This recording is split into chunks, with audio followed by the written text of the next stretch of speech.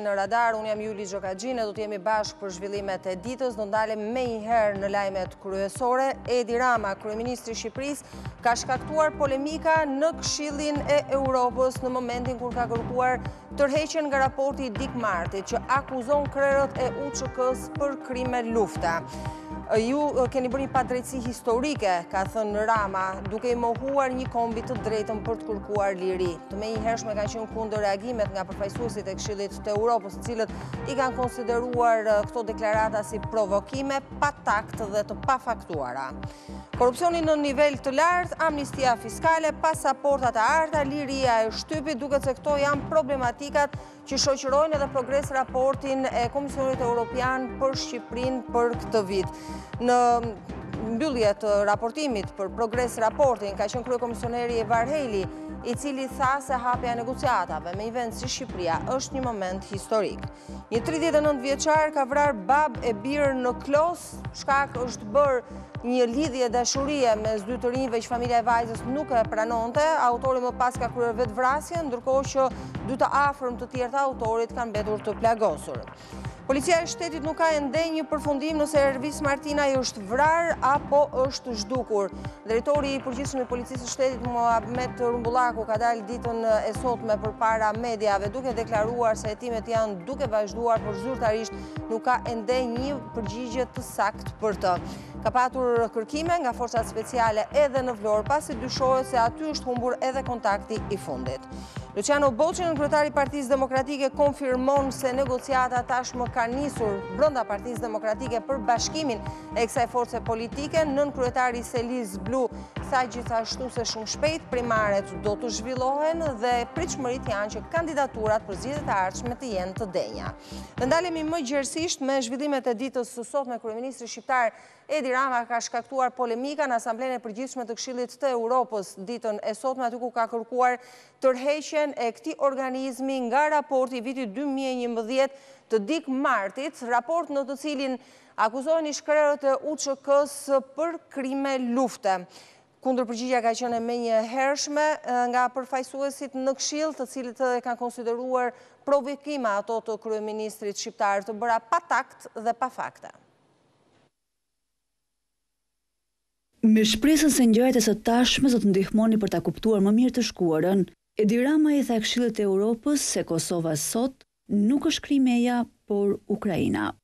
Përpiquni të përfytyroni Presidentin Zelensky dhjetë vjet më pas, që bëhet pjesë e diçkaje kaq surreale, sa ç'është Presidenti Thaçi sot, sepse Kremlini dhe Moska tanimë e kanë nisur të thotë se ka trafikim, veprimtari të trafikimit të organeve njerëzore nga neonazistët në Donbas.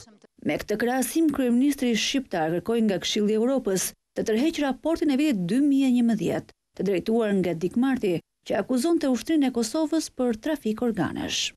Është një fantazi e pastër, e mirëfabrikuar në Kremlin dhe në mënyrë shumë inteligjente e trafikuar e kontrabanduar në kanalet e politikës ndërkombëtare dhe e sjellë këtu në Tempullin e të Drejtave të Njeriut. Veprimet tuaja një dekadë më parë kanë shkaktuar në mirëbesim një prej dështimeve më monumentale të politikës ndërkombëtare. Ju bëj thirrje që të rrëzoni akuzat kundër Kosovës. Ju bëj thirrje që të pranoni kërkesën e Shqipërisë për miratimin e një rezolute që kërkon një raport vijues lidhur me akuzat e paprovuara, të turpshme të trafikimit të organeve nga anëtarët e ushtrisë heroike çlirimtare të Kosovës, një krim që kurrë nuk është kryer dhe kurrë nuk duhet të ishte atribuar. Por fjalimi i gjatë i Ramës, që përmbushi të gjithë kohën e planifikuar pa lënë hapësirë për pyetje, si dhe akuzat ndaj Këshillit të Europës ngjallën reagime. Mirë se erdhët në asamblenë tonë, Kryeministri Rama. Edhe pse në këtë mënyrë të patakt, kam keqardhjen e thellë që në fjalimin e tij mbresëlënës ai shtrembëroi dhe keqpërfaqësoi thelbin e raportit dhe të rezolutës, duke konsideruar Akuzat e pashembullta ndaj anëtarëve të kësaj asambleje, duhet të lëmë pak kohë për t'i konsideruar këto. Ajo çfarë u tha shtrembëronte realitetin, vërtetësinë. Në fakt kam dhjetë vjet këtu, po kam mbetur pa fjalë për të thënë të vërtetën, sepse nuk është e mundur që ju të flisni për kaq shumë kohë dhe pastaj të mos na jepni mundësinë të bëjmë një debat. Jam e tronditur. Kjo ishte mungesë respekti ndaj kësaj organizate. Jam natyrisht mjaft i mbresuar sa shumë keni marrë anën e Kosovës në këtë asamble, që ka një lloj legjitimiteti, por nga ana tjetër, zoti kryeministër i minoni në shtëpi duke mbështetur nismën e Ballkanit të Hapur që kritikohet shumë nga Kosova dhe që e izolon atë. Tashmë po zhvillohen procedura juridike të pavarura. Përse doni që asamble, një asamble si e jona të ndërhyjë në procedura ligjore, ndërkohë që ju e dini që jemi këtu në tempullin e sundimit të ligjit dhe të drejtave të njeriut. Nuk mund të jetë roli ynë për të shkuar përtej kësaj. Shoh shumë emocione këtu në këtë sallë tani, dua që të gjithë të qetësohemi. Por pavarësisht reagimeve, kryeministri Rama nuk u tërhoq. Nuk jam i sigurt së paku për ata që shprehen parehatitë e tyre në lidhje me fjalën time, nëse e kuptuan vërtet për çfarë po flisja. Lexojeni sërish e sërish që të gjejnë mijëra arsye pse jam këtu. Nuk i akuzova për asgjë paraardhësit e tyre. Nëse bëhet fjalë për të votuar edhe unë do ta votoja por kanë kaluar njëmbëdhjetë vite dhe asgjë nuk është vërtetuar. Nuk tërheq asnjë fjalë nga ajo që thashë. Nëse doni ndonjë debat jam i lumtur të rikthehem. Ndërkohë po ditën e sotme është publikuar edhe progres raporti vjetor për vendin tonë, progres raporti i përvitshëm i Komisionit Europian, duket se janë të paktën katër çështjet kryesore për të cilat Shqipëria do duhet të vazhdojë të punojë. Çka lidhet me korrupsionin në nivel të lartë, me amnistinë fiskale të premtuar për t'u kryer nga ana e qeverisë pavarësisht kundërshtimeve që vijnë nga perëndimi, pasaportat e arta dhe liria e shtypit. Ndërkohë që ka qenë komisioneri Varheli, i cili ka dalë përpara mediave duke deklaruar se çelja e negociatave për Shqipërinë pa dyshim që mbetet një moment historik.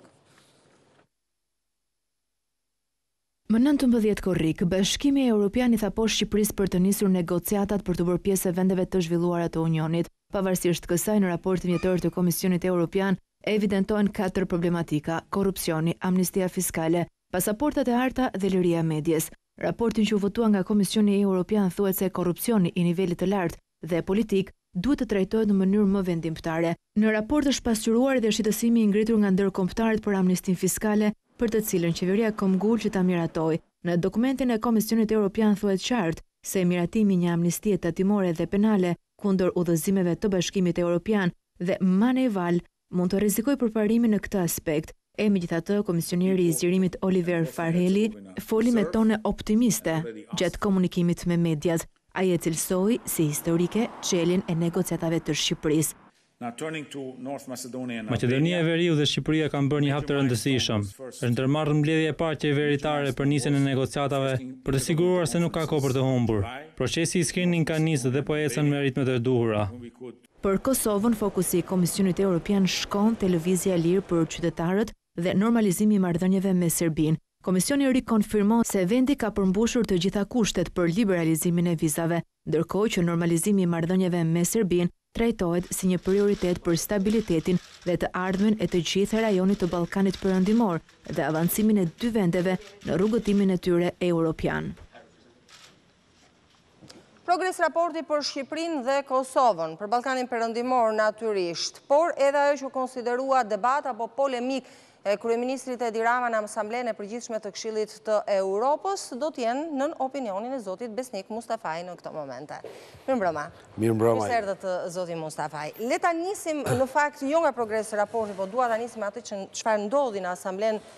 e Përgjithshme të Këshillit të Europës. Ka patur një fjalim të gjatë të kryeministrit Edi Rama, gati një orësh, çfarë u konsiderua e papërshtatshme dhe në fakt reagimet pas këtij fjalimi ishin vërtet ndoshta edhe të papritura. E konsideruan të pavend, të patakt që foli pa fakte, pa prova, që deformoi të vërtetën e të tjera si këto. Ku gaboi zoti Rama në fjalimin? Në rast se ka gabuar, ku gaboi? Shiko, në, në vlerësimin tim qëllimi ishte i mirë, qëllimi ishte i nevojshëm, ishte në vazhdimësi të rezolutës që ka miratu parlamenti shqiptar në korrik, për të kërkuar një rishikim të rishqyrtim dhe mundësisht një rezolutë të re për lidhur me raportin e miratuar 11 vjet më parë të Dick Martit, ku akuzohet UÇK-ja dhe lidershipi politik i Kosovës në atë kohë tashmë për përzierje në trafik organesh. Përveç këtij qëllimi, gjithë pjesa tjetër nuk u zhvillua siç do të duhej të zhvillohej dhe për fatin e keq mund të thuhet në fjalë të fundit dështoi Edi Rama, kryeministri shqiptar në qëllimin e tij. Ndodhën disa gjëra. E para, siç e theksuat edhe ju, ishte fjalimi ishte shumë i gjatë. Sipas procedurave të Asamblesë Parlamentare të Këshillit të Europës, Shqipërisë i ishte dhënë maksimumi i kohës për një debat rreth një problematike që është gjashtëdhjetë Minuta. Gjashtëdhjetë minuta ishte fjalimi i zotit Rama dhe ky fjalim e detyroi disa herë drejtuesin e seancës, kryetarin e Asamblesë që t'i kujtonte se koha po kalon, bile njëherë i tha edhe ki dhembshuri, ki mëshirë për mua. Pra fjalimi ishte shumë i gjatë. Salla ishte bosh dhe ishte pothuajse bosh dhe filloi të boshatiset akoma më tej për shkak të zgjatjes së fjalimit. Fjalimi vetë ishte konfuz, ishte në konfuz sepse kalonte nga një temë në tjetrën pa dhënë konkluzione, pa paraqitur qëndrime dhe ishte shumë përsëri, kishte shumë përsëritje, tmerrësisht shumë përsëritje, çka e bën fjalimin të mërzitshëm. Që do të thotë një fjalim emocional për ne shqiptarët, që të them të vërtetën, nuk është se u ndiem keq kur e dëgjuam, por jo për ftohtësinë e gjykimit europian. Nuk është vendi aty për fjalime letrare emocionale dhe sidomos nuk i lejohet asnjë të ftuari As kryeministri britanik, as edhe Putini po të ishte, sepse Rusia de, de jure është anëtare e Këshillit të Europës, as presidenti francez nuk mund t'u kërkojë asamble, deputetëve të pranishëm, që shiko vëni, më dëgjoni mirë, kuptojni këtë gjë që po ju them, mbajeni mend këtë gjë. I akuzoi, ia tha një deputete mbrapa, i akuzoi për për për për integritet moral, duke duke thënë se ju duhet t'lani mëkatet, pra të paraardhësve dhe i dhe si njerëz që nuk kuptojnë dhe këtë e thelloi akoma më shumë gjatë përgjigjes pyetjeve kur disa herë i thoshte ju nuk deshët të më kuptoni ose nuk nuk më kuptuat dot, por unë isha shumë i qartë. Ose i krahasoi me parlamentin e Shqipërisë. Unë isha shumë i qartë dhe pastaj parlamenti i Shqipërisë ishte poshtrim për Shqipërinë që i bënte, sepse e paraqiste si një shembull shumë, shumë të keq. Megjithatë, megjithatë, se do ta vazhdojmë, por megjithatë, a ishte nuk ishte pak ekzagjeruar reagimi që mund të konsiderohet një reagim në unison sepse ishin të gjithë folësit, shprehën po të njëjtën gjë, pakënaqësi ndaj zotit Rama. Dy apo tre prej tyre thanë kam 10 vjet apo kam 15 vjet këtu, një gjë e tillë nuk ka ndodhur kurrë, ky lloj precedenti nuk ka ndodhur kurrë. Pra. Mungesa e taktit të tjera si këto pra ishte kaq e ekzagjeruar? Ishte tmerrsisht e ekzagjeru, ja them si njeri që ka kalu shumë kohë edhe n'atë sallë edhe në salla të ngjashme n'Europë. Ishte tmerrsisht e ekzagjeruar, ishte mentaliteti i Edi Ramës kur i drejtohet parlamentit parlamentit shqiptar. Pra në mënyrë absolute ishte jashtë të gjitha jashtë gjithë mirësjelljes dhe stilit dhe gjuhës që përdoret n'atë vend. Kishte një fakt të rëndësishëm që Rama donte ta evidentonte, që asnjë akuzë nuk ekziston për të për Thaçin dhe të tjerë që janë në Hagë për trafik organesh. Të ndalej, ky është një fakt që mund të kalonte me një paragraf, ta theksonte dhe të kërkonte atë që duhej të kërkonte, do të thotë, sepse ne unë nuk kuptova asgjë, ky çfarë kërkon. Nëse ky nëse Kryeministri i Shqipërisë kishte shkuar atje të kërkonte një rezolutë e cila të ripoziciononte Këshillin e Europës ndaj raportit të Dick Marty-t, atëherë duhej... Ai tamam tamam kërkoi tërheqje nga ajo rezolutë. Po pra, po një kjo tërhiqet përmes një rezolute, nuk tërhiqet kështu tani more e fut në xhep, ka ka dokumenta. Dhe atje shkohet me një draft rezolutë, e cila sipas rregullores së Parlamentit të Këshill të Asamblesë Parlamentare të Këshillit të Evropës, kjo kjo draft rezolutë iu kalohet paraprakisht ose njëzet deputetëve që duhet t'u merret firma ose komision dhe përgatitet në mënyrë që draft se nuk do hartojë njeri draft rezolutë për ty. Ti do ta hartosh.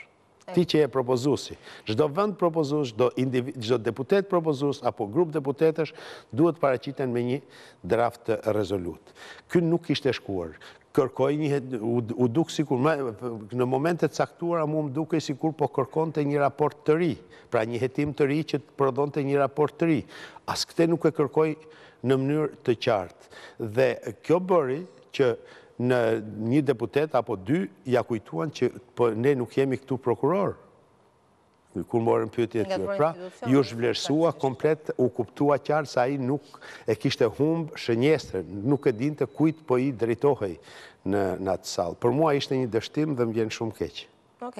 Pjesa kur zoti Rama dha disa detaje për fshatrat në, në veri të vendit, një lloj realiteti që ne shqiptarët e dimë, por që Europa ndoshta nuk e kupton dot. Çfarë vlere kishte? Po kjo ka vlerën e faktit ilustrativ në një fjalim.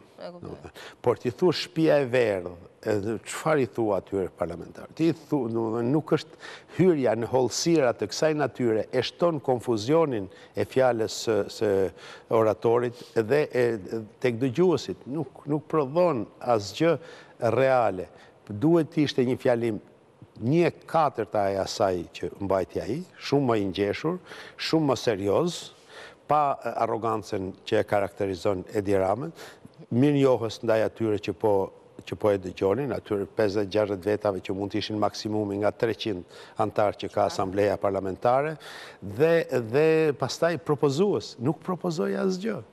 E qartë. Gjuha e përdorur ndaj Carla Del Ponte, që për ne shqiptarët, të themi të vërtetën, është bërë një personazh shumë i urryer. Por që për europianët mbetet personalitet. Dhe këtu na krijohet një problem. E vërteta, e vërteta për Carla Del Ponte vlerësimi i kryeministrit dhe në përgjithësi opinioni i shqiptarëve duhej thënë. Por kjo thuhet me një paragraf, me tre fjali, katër fjali. Nuk bëhet letërsi aty, Jul, nuk bëhet letërsi. E çorienton, nuk është ai publiku që ka, me, që ka durimin me dëgju ty e, stërhollimet gjuhësore. E kuptoj. Ndërkohë, dua të sqaroj edhe një pikë tjetër, sepse ata që folën, pra përfaqësuesit e tjerë aty,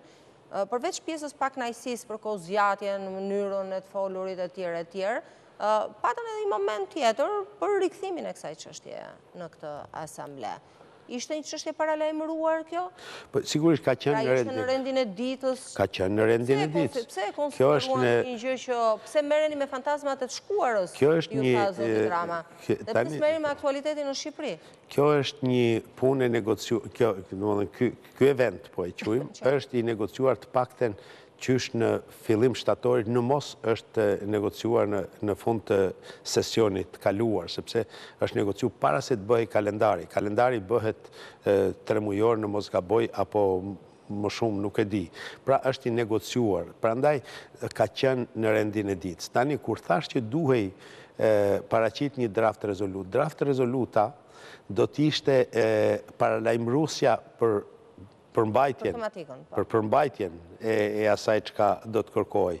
Kjo draft rezolutë duhej të qarkullohej Domethënë diplomacia parlamentare, diplomacia kryeministrore. Nuk e dinte Rama këtë, këshilltarët, ata që e shoqëronin. Po mua më thonë se Rama nuk e pyet trupin diplomatik fare, domethënë i trajton si si njerëz të padobishëm, të panevojshëm. Pra një seancë që do do duhet ishte një seancë debati që mbyllet me një fjalim me një fjalim që le përshtypje të keqe. E kuptoj.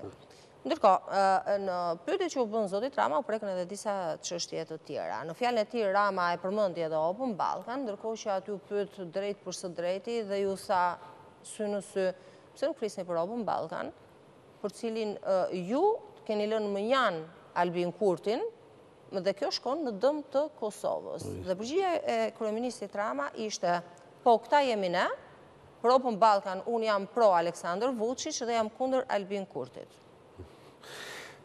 Mënyra e tij e të folurit nuk ka asnjë surprizë. Ai harron po, gjithmonë se në një plate europiane 40 Gjashtë dyzet e shtatë vende sa ka bashki, sa ka Këshilli i Europës anëtarësi, të cilët bëjnë opinion në qeveritë e tyre, sepse janë gjithë përfaqësues të parlament të parlamenteve të tyre, edhe ata që nuk kanë qenë në sallë, të gjithë do ta marrin jehonën, do marrin minuterinë për ta lexuar, domethënë do do njihen me çfarë u tha dhe si u soll.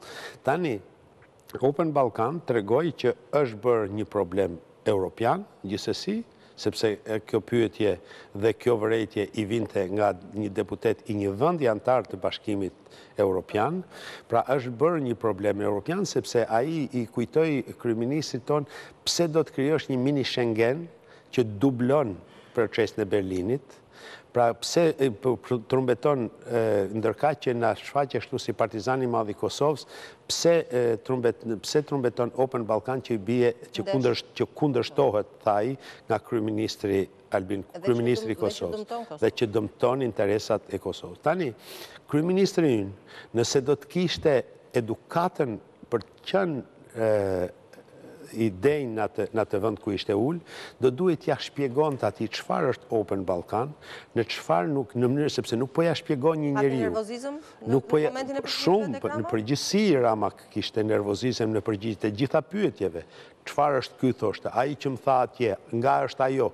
Nuk flitet kështu, ku flitet kështu në Asamblenë Parlamentare të Këshillit të Europës apo në çdo institucion ndërkombëtar? Çfarë të duket vetja? Me përfaqësuesen greke ishte në nerv. Po pra, po dhe çfarë ishte ajo? Çfarë ishte ky?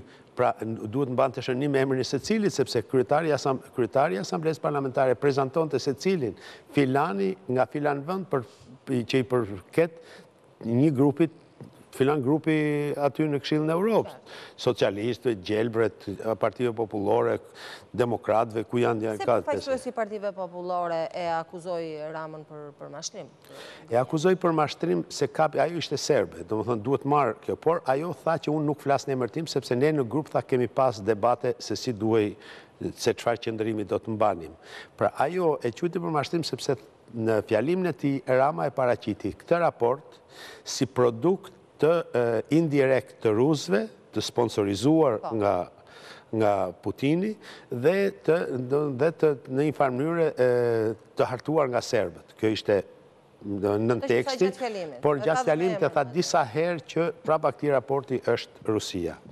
Dhe ajo i tha që nuk është një raport, tha, as i Rusisë, as i Serbisë, por i Asamblesë Parlamentare, çka është një fakt noterial, një fakt i shënuar, sepse ai u miratu me shumicë votash në Këshillin e Europës. Pra, ajo spekulloi pak, duke kapur atë çka i dha vetë shkas kryeministri ynë. E kuptoj. Mirë, dua të ndalemi dhe të flasim për një tjetër zhvillim, po të ditës sotme, është progres raporti për Shqipërinë dhe për vendet e Ballkanit Perëndimor, progres raporti i Komisionit Europian. Përpara se të ndalemi në pikat e veçanta, Zoti Mustafaj, dy gjëra më kanë bërë përshtypje. E para, fjala shumë e shkurtër e komisionerit Varheli, i cili në mënyrë të përgjithshme tha po Shqipëria ka bërë progres, ka filluar programi screening edhe për Maqedoninë e Veriut, pra e kaloi në një farë mënyre shumë lehtësisht. Ndërkohë po të lexosh raportin, në pjesën më të madhe të pikave, thuhej përparim i ngadaltë, një farë përparimi, Përparim i kufizuar. Po ka dhe, ka dhe ikje mbrapa. Ka dhe, ka dhe ikje mbrapa, pa dyshim. Po po marr këtë pjesë që ishte në, në mazhorancë, si të thuash, të pikave që trajtoheshin. Po Varheli njihet si një komisioner i cili ushqen simpati të, të veçantë për Ramën dhe qeverinë e tij. Në perceptimin tim, të përsëritur nga daljet e tij në publik dhe nga sjelljet e tij dhe këtë gjë e kam thënë edhe herë tjera publikisht, pra nuk është një një shprehje për herë të parë nga ana ime e kësaj pakënaqësie ndaj komisionerit Varhelyi. Dhe e dyta pikëri dhe e lidhur me të parën, Ai në pamundësi për të pas argumenta pozitiv u përpoq të jetë i shkurtër, sepse ka një në te fjala e tij unë e dëgjova të plotë. Dhe fjala e tij tani, pasi thotë që ka bërë progres në reformën në drejtësi, pastaj thotë ka thotë mbeten mbeten për të zgjidhur probleme që kanë të bëjnë me pronën, me lirinë e shprehjes dhe numëron katër a pesë probleme që janë esenciale për standardet demokratike të një vendi që synon të integrohet në Bashkimin Europian. Dhe këtë i kaloi të gjitha me një fjali. Pra mbeten, mbetet punë për të bërë për pro, pro, pronën. Po si mund të shkosh në Bashkimin Europian pa zgjidhur problemet e pronës? Kur ke regres në në lirinë e shprehjes. që është një nga liritë themelore të një shoqërie demokratike. E qartë. Ndërkohë, korrupsioni? Korrupsioni aty. Ishte me një minus të madh, vërejtjet për amnistinë fiskale, po që kanë muaj që bëhen, por që vazhdon qeveria shqiptare dhe zoti Rama të këmbëngulin edhe FMN-ja 2 ditë, 3 ditë më parë përfaqësuesja e Fondit Monetar Ndërkombëtar, tha të njëjtën gjë, çfarë po bëni, tha, do nxirrni njerëzit nga qelitësa, ata që janë dënuar për kryerje evazioni, apo për mospagim të taksave, apo për mosdeklarim të të ardhurave e të tjera si këto. Kaq, për korrupsionin nuk ka asnjë fjalë të mirë, që është shumë shqetësuese për luftën kundër korrupsionit. Por ka dy problematika të reja që janë shtuar në krahasim me raportin e vitit të kaluar. E para është Kjo që përmendëm ju, ne, domethënë që përmendët ju, për amnistinë fiskale, që është një problematikë e re, nuk ekzistonte në raportin e para një viti, mhm. dhe e dyta janë ato pashaportat e arta, e florinta, që janë gjithashtu i bien ndesh dhe janë të kundërshtuar në mënyrë të qartë nga të gjitha vendet, nga të gjitha strukturat politike, diplomatike, madje edhe edhe Europoli dhe këto strukturat e tjera që merren me luftën kundër krimit të organizuar. Të shohim a do të ketë reflektim nga ana e qeverisë pas këtij progres-raporti, deri tani me gjithë çfarë është thënë duket se do të vijohet në të paktën për këto dy gjëra do të do të vazhdohet në të njëjtin drejtim. Mirë, nuk dua të ndalemi dhe kaq shumë tek Shqipëria, kemi edhe pak minuta dhe dua t'i shfrytëzojmë pak për Kosovën, pavarësisht se me kolegen Erisa Zykaj Bëmë një pasqyrim të gjatë ditën e djeshme, por kryefjala ishte shumë e bukur për Kosovën, liberalizimi urgent i vizave. Pastaj, renditja e problematikave ishte pak a shumë ajo e një viti më parë, apo jo? Janë bërë këto në disa aspekte, sidomos për vende të tilla si Kosova, janë bërë paksa si rutinë këto vlerësime që vijnë nga Brukseli, domethënë renditja e problematikave. Nuk ka asnjë problematikë në Kosovë, as në Shqipëri, as në Serbi, që mund të zgjidhet brenda Brenda një viti. brenda një viti. përveç se të tilla si kjo e amnistisë fa- fiskale që e anullon. Po. Pra, në këtë kuptim, e, kryesorja është një vlerësim unanim pozitiv nga Komisioni Europian për t'i për t'i liberalizu vizat e qytetarëve të Kosovës dhe që Ky vlerësim unanim i Komisionit vjen pas një gjykimi të thellë të kapaciteteve të Kosovës për ruajtjen e kufi, për kontrollin kufitar, për luftën kundër krimit të organizuar e tjerë, problema të kësaj natyre që janë në bazë të shqyrtimit për të marrë vendimin nëse duhen liberalizuar apo jo. Po, por megjithatë mund të shihet, le të themi, liberalizimi i vizave në prag tashmë të zgjidhjes, duke patur parasysh çfarë kemi diskutuar edhe së bashku më herët, pra reagimin e vendeve të fuqishme të Europës lidhur me këtë, Franca, Gjermania, Polonia që ishte bashkë me to e kanë kërkuar shumë komisionerë të Bashkimit Europian, po ashtu Kanë ngritur zërin për këto. Pra në një farë mënyre të gjithë po e kërkojnë. Është është një vendim që merret me konsensus, pra me me vendim të përbashkët. Nuk duhet të ketë asnjë vend që ta që ta kundërshtojë në Këshillin e Ministrave të Bashkimit Europian, që është Këshilli i Ministrave të Jashtëm. Ë mendimi i komisionit është shumë i rëndësishëm, por nuk është vendimarrës.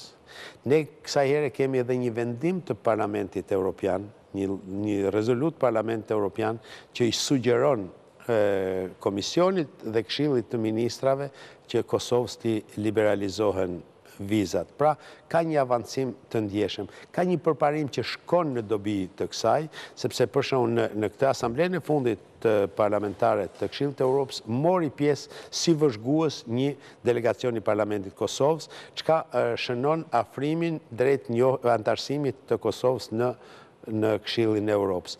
Fjala e Ramës gjithashtu e theksoi bukur faktin që Kosova duhet të të anëtarësohet në në Këshillin e Europës. Pra janë hap janë hapa që i shërbejnë absolutisht kësaj këtij procesi drejt heqjes së vizave dhe pastaj sigurisht edhe drejt hapave të tjerë drejt hapave të tjerë. Faleminderit zoti Mustafaj. Faleminderit që ishit në radar. Faleminderit juve. Bisedën isha me zotin uh, Besnik Mustafaj uh, në këtë bisedë në fakt për dy zhvillime të rëndësishme të ditës së sotme që lidhen me publikimin e progres raportit të Komisionit Europian, por edhe në debatin që ka patur kryeministri Edi Rama në Asamblenë e përgjithshme të Këshillit të Europës. Është koha të ndalemi pak tek aktualiteti, sepse një ngjarje vërtet shumë e rëndë ka ndodhur në Klos ditën e sotme, aty ku një 39 vjeçar ka vrarë babë e bir dhe më pas është vetëvrarë.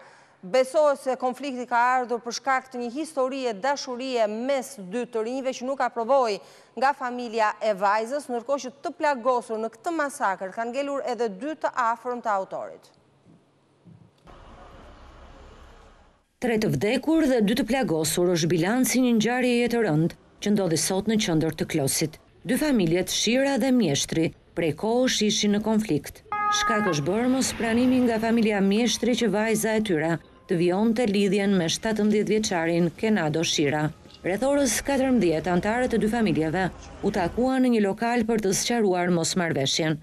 Në sherr e sipër, Fiqiri Mjeshtri, tridhjetë e nëntë vjeç, ka hapur zjarr me pistoletë ndaj Ilir dhe Kenado Shirës, babë e bir. I riu vdiq në vend, ndërsa i ati në spitalin e Burelit. Pas krimit, autori u largua drejt fshatit të tij Dars. Forca të shumta të policisë iu vunë pas. Gjatë rrethimit, tridhjetë e nëntë vjeçari u vetëvra me pistoletë.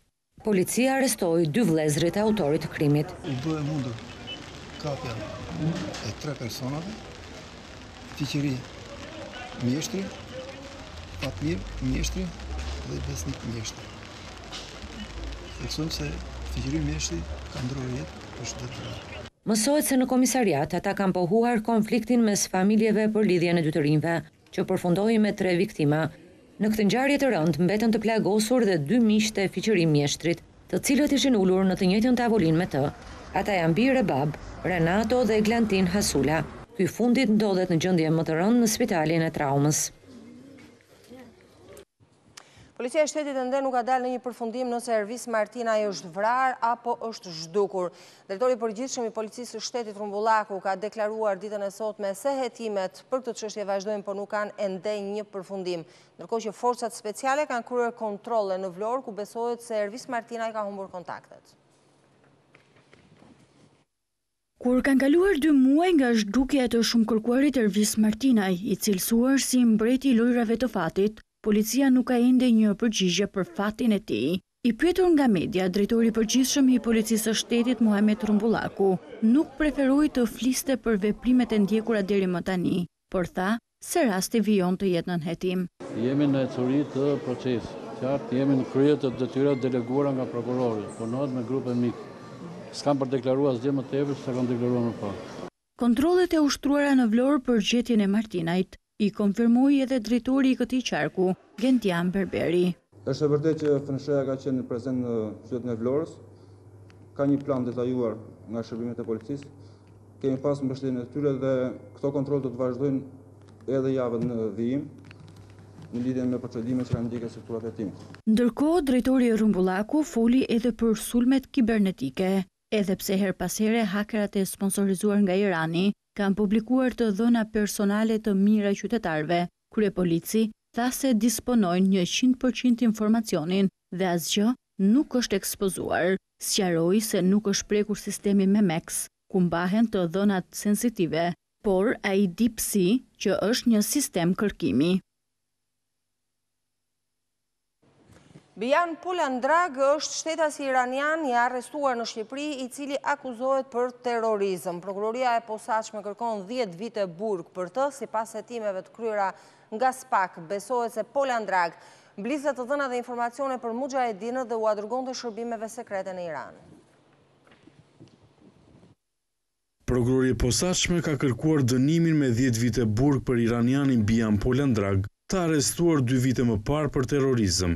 Në seancën e së mërkurës, prokurori Vladimir Mara kërkoi për të dënimin me pesëmbëdhjetë vite heqje lirie, por për shkak se ndaj tij është pranuar gjykimi i shkurtuar, nëse gjendet fajtor, do të vuajë dënimin me dhjetë vite burg. Procesi ndaj dyzet e tetë vjeçarit është zhvilluar me dyer të mbyllura për shkak të ruajtjes së sekretit hetimor, pasi SPAK pretendon se ka edhe persona të tjerë të dyshuar, si bashkëpunëtorë me të. Bijan Polandrag fillimisht ka qenë pjesë e anëtarëve të Muxhahedinëve dhe banor i kampit në Manëz. Por sipas SPAK, ai dyshohet të jetë agjent i Gardës Revolucionare të Iranit dhe vepronte si i infiltruar mes anëtarëve të MEK të strehuar në Shqipëri, ku siguronte informacion mbi aktivitetin e tyre. Pak javë më parë me kërkesë të SPAK, gjykata miratoi kontrollin e zyrave të një shoqate në Tiranë, si dhe disa banesave dhe ambienteve të dyshuara të disa shtetasve nga Irani, me dyshimet se ushtronin aktivitet të paligjshëm të spiunazhit. Kundër opozitës iraniane që strehohet në Manëz. Aleanca për Mbrojtjen e Teatrit ka protestuar përpara Prokurorisë së Posaçme ditën e sotme duke akuzuar se nuk po bën asnjë hetim për shembjen e teatrit. Ata kanë protestuar për rreth gjashtëdhjetë minuta duke i bërë thirrje qytetarëve t'u bashkohen. Aleanca për Mbrojtjen e Teatrit ka protestuar ditën e mërkurë përpara Prokurorisë së Posaçme, duke kërkuar drejtësi për shëmbjen e teatrit. Përfaqësues të Aleancës i bënë thirrje SPAK të hetojë personat përgjegjës, pasi kanë kaluar tre vite nga kallëzimi i parë, por nuk ka ende asnjë të pandehur. Për aktorin Edmond Budina, protesta duhet të vazhdojë, duke i kërkuar Prokurorisë të mos bëhet palë me mafian. Ne nuk kërcënojmë askënd, por ama ne jemi të kërcënuar dhe kemi të drejtën dhe kemi të drejtën të ngrihemi dhe të kërkojmë përse mbas dy vjet e nëntë muajsh të kallëzimit të parë SPAK-u nuk po vepron, përse nuk reagon, përse bëhet palë me mafian dhe të gjithë e dimë që sheshi i Teatrit Kombëtar shërben vetëm për pastrimin e parave të pista. Prandaj ne jemi këtu për t'i thënë stop! Policia e Tiranës kishte marrë masa të shtuara në ambientet e jashtme të godinës, por protesta nuk u mbështet nga qytetarët. Përshëndes shumë ata që na shikojnë nga lokalet edhe nuk begenisin të vijnë këtu. Përshëndes shumë Edhe këta që na shikojnë nga xhamet këtej nga mbrapa, po një përshëndetje të të veçantë e kam për atë që quhet shoqëri civile, që është kaq e mira, kaq e dashura, kaq kaq elegante me pushtetin dhe gjendet gjithmonë atje ku janë parat. Aleanca për Mbrojtjen e Teatrit ka depozituar deri më tani tetëmbëdhjetë kallëzime ndaj zyrtarëve të lartë shtetërorë, por edhe prokurorëve të SPAK, që sipas tyre nuk kanë kryer hetime. Godina e Teatrit u shëmb në shtatëmbëdhjetë maj të vitit dy mijë e njëzet, ndërsa protesta e radhës do të mbahet ditën e hënë në orën dhjetë.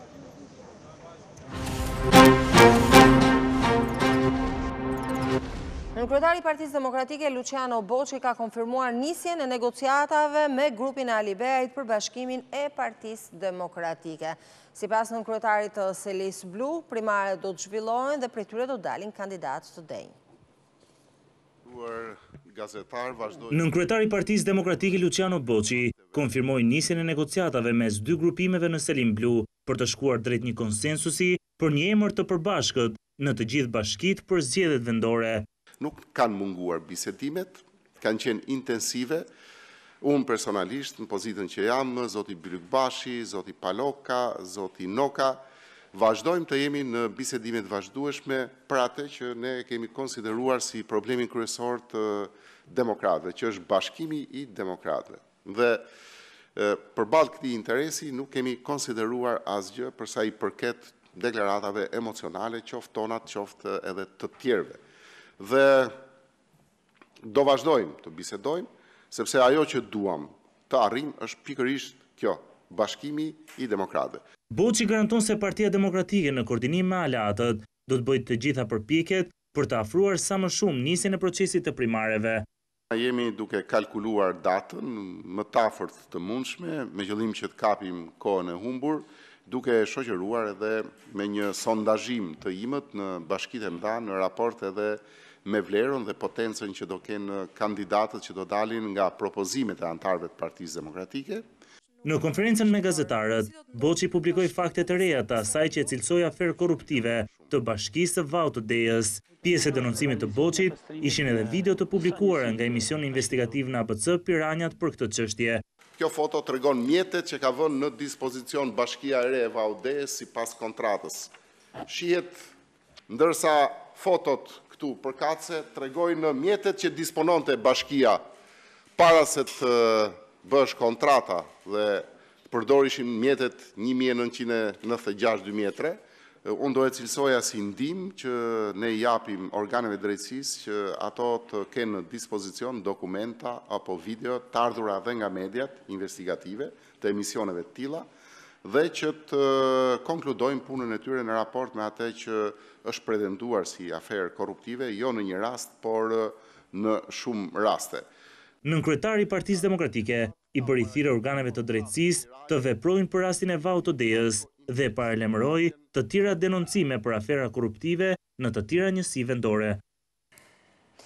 Por pikërisht për luftën në Ukrainë, çfarë pasojash po sjell, cilat janë pritshmëritë, gjitha aludimet se mund të ketë një luftë më të gjerë, kam në lidhje të drejtpërdrejtë zotin Dritan Demiraj, ish ministër i Brendshëm, ekspert pa dyshim për sigurinë ndërkombëtare. Zoti Demiraj, përshëndetje. Përshëndetje Juli. E dëgjuam së bashku presidentin amerikan Joe Biden, i cili hodhi poshtë mundësinë e përdorimit të armëve bërthamore nga Vladimir Putin. Në fakt është pyetja që përsëritet dhe ripërsëritet, apo luan blofin Vladimir Putin, apo kemi të bëjmë me një kërcënim serioz. Po të kemi parasysh se jo më larg se disa orë më parë Jens Stoltenberg, sekretari i përgjithshëm i NATO-s, ka bërë të qartë se do të nisë një stërvitje e posaçme, për mbrojtjen bërthamore dhe po ashtu është konsideruar një situatë emergjente dhe janë në gatishmëri të plotë të gjitha pikat bërthamore në mbarë globin, pra në ato që NATO ka, sigurisht. Në gjykimin tuaj? Përdorimi i armëve bërthamore siç është edhe e qartë nga të gjithë, është mjeti i fundit me të cilin mund të përballet dhe në rast se do t'i referohemi doktrinës përdorimit të armëve bërthamore nga ana e Federatës Ruse, është, përdorimi i tyre do të bëhet i mundur vetëm në momentin që rrezikohet dhe kërcënohet tërësia territoriale dhe sovraniteti i Federatës Ruse, Për momentin nuk kemi. Por, një nga zhvillimet që vlen të të analizohet është zhvillimi i sulmeve të fundit para, sulmi para pesë ditëve i njësive speciale mbi urën Kerç, të cilën Vladimir Putini e konsideronte vijë të kuqe dhe sulmet e datës tetë të cilat kanë bërë një rikonceptim të luftës dhe të armatimeve të cilat po përdor Putini kohët e fundit në Ukrainë. Për herë të parë është bërë Mund të ndalemi pak këtu sepse ura Kerç konsiderohet shumë e rëndësishme. E para pse dhe e dyta pse është konsideruar gjithmonë një vijë e kuqe, për faktin se lidh pjesën e gadishullit të Krimesë apo ka edhe arsye të tjera? Një nga, dy janë arsyet kryesore, së pari sepse mundësojnë furnizimin e zinxhirit furnizimit të gjithë njësive të cilat janë të dislokuar në zonën e Khersonit dhe të Gadishullit Krimesë dhe së dyti është një nga urat të cilat Vladimir Putini e ka inaguruar me shumë pompozitet në dy mijë e tetëmbëdhjetën duke e paraqitur veten si një nga liderat global pra krahas presidentit të Shtetet e Bashkuara të Amerikës edhe veten e vet, luftë për të cilën kjo është edhe baza e luftës sotme. Rusia kërkon një vend të re të ri në rendin e ri global. E kuptoj. Në analizat e shumta që bëhen nga ekspertët ndërkombëtarë momentalisht, shihet reagimi i Ukrainës, e cila ka edhe gjithë ndihmën e Aleancës Veriatlantike pa dyshim, dhe nga ana tjetër mësymja e ushtrisë ruse dhe mënyra se si po veprohet. Shumë prej këtyre analistëve thonë që është parë një ushtri ruse shumë më e dobët nga sa mendohej. Është realisht kështu në terren, apo këto lloj gjykimesh vijnë për faktin që Vladimir Putin ka hedhur në Ukrainë edhe atë pjesë rekrutësh ose edhe rekrutët e rinj madje sipas vendimit më të fundit, të cilët janë të papërvojë në fushëbetejë? Ushtria e Putinit ka të dyja anët e medaljes. Nga njëra anë kemi parë përdorimin e armëve strategjike, të cilat u përdorën në datën pardje, pra në datën 9, mhm. të cilat konsistonin në përdorimin e raketave KH-101, 555, Kalibër, Iskander dhe kështu me radhë, nga avionët Tu 95 dhe Tu 160, dhe nga ana tjetër kemi këto njësi tokësore të cilat përbëhen nga 95 grup batalione të cilat janë pjesë e fronteve, frontit lindor dhe frontit jugor. E vërteta është që njësia njësitë e ushtrisë ruse nuk kanë performuar ashtu siç mendonim në fakt të gjithë ne që jemi marrë me me studimin e forcave të armatosura për arsye sepse njësitë e tyre kanë qenë të pastërvitura të papajisura të pa të pa mbështetura me fuqinë e zjarrit dhe inteligjencën e duhur në fushëbetejë. E kuptoj.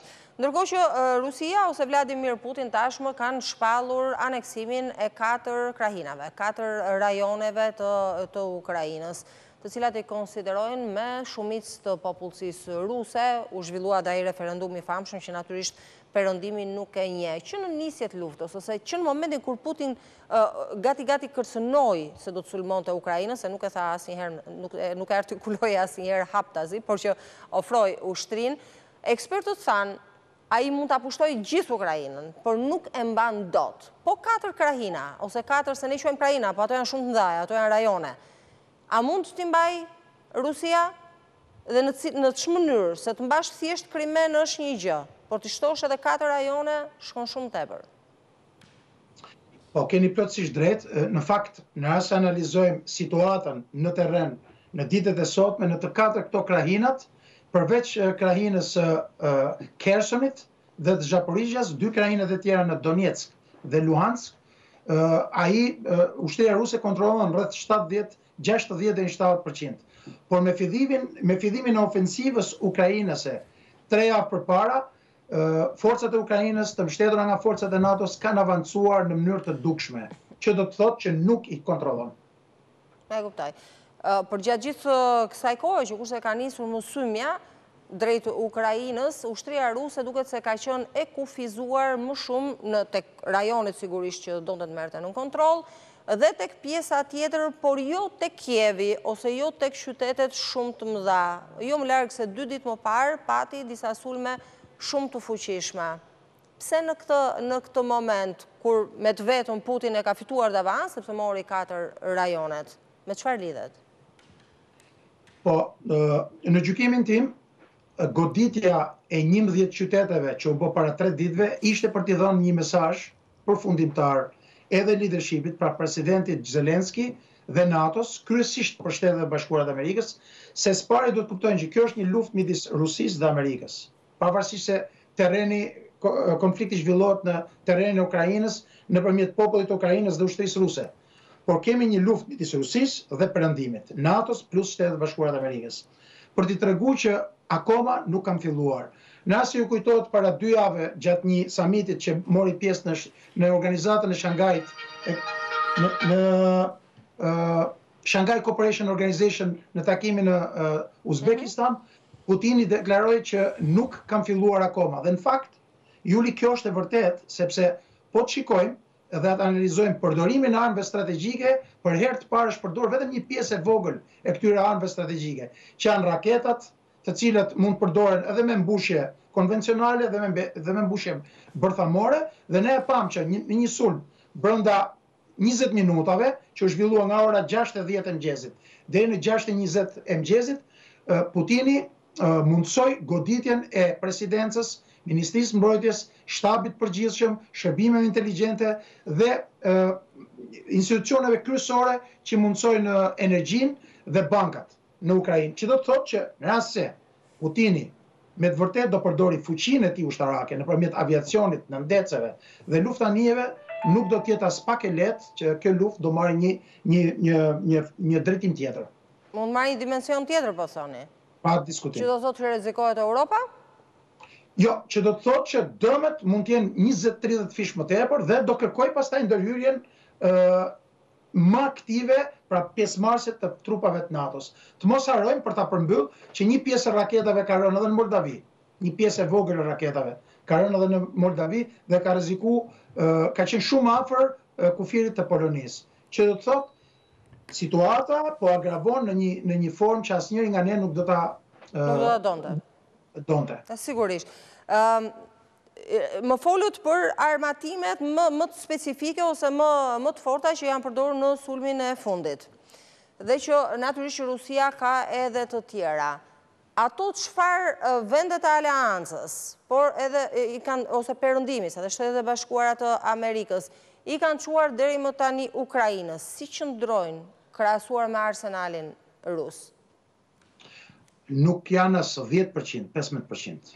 Për hir të së vërtetës, nëse do krahasonim fuqinë luftarake, kapacitetet operacionale të Shteteve të Bashkuara të Amerikës me Rusinë, janë shumë, shumë larg të Shteteve të Bashkuara të Amerikës.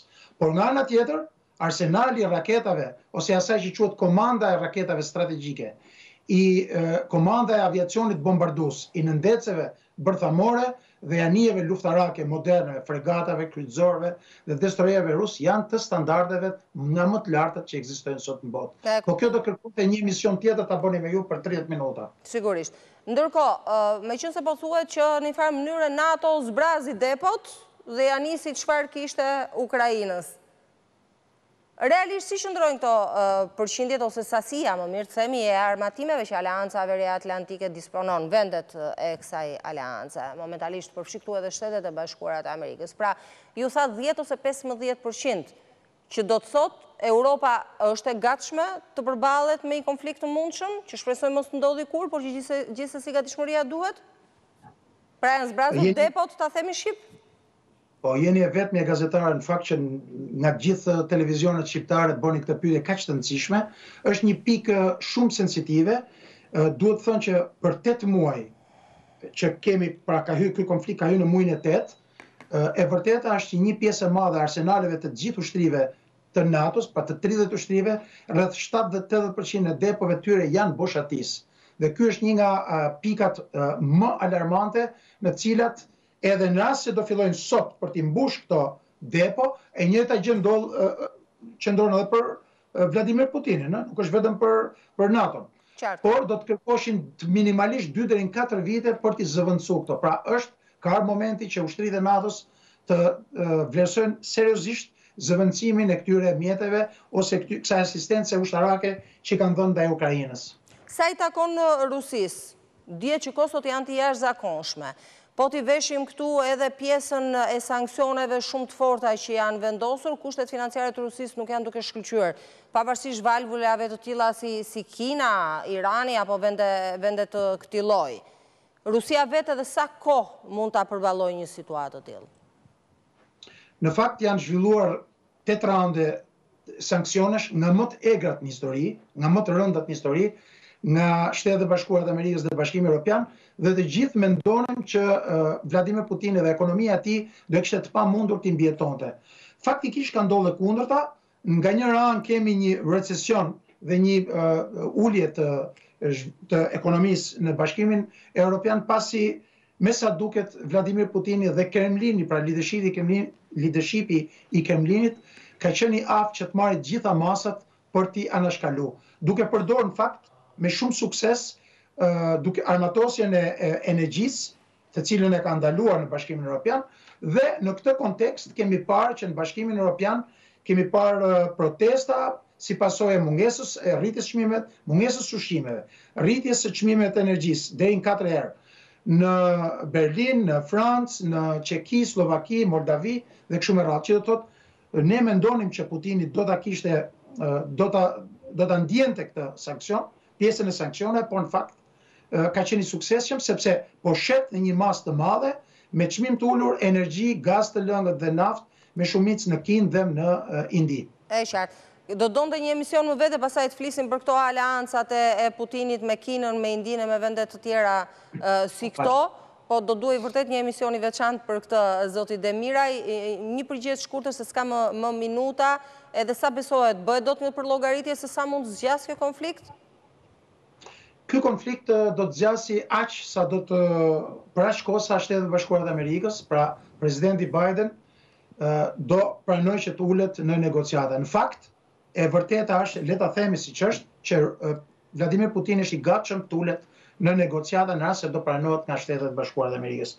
Një propozim i tillë është bërë në me ndërmjetësinë e presidentit Erdogan dhe të shohim në takimin e G20-s Në rast se do të mundësohet ky takim në nëntor. Le t'ia lëmë kohës. Të shohim. Faleminderit zoti Demiraj, ishte kënaqësi që ju kisha në këtë lidhje të drejtpërdrejtë për Radar. Faleminderit. Ju faleminderit. Isha me zotin Dritan Demiraj, ekspert për sigurinë ndërkombëtare, ish ministër i Brendshëm dhe ky ishte Radari për sot. Gjithçka do ta gjeni të pasqyruar në faqen tonë të webit abcnews.al, në faqet tona në rrjetet sociale dhe padyshim edhe në kanalin tonë në YouTube.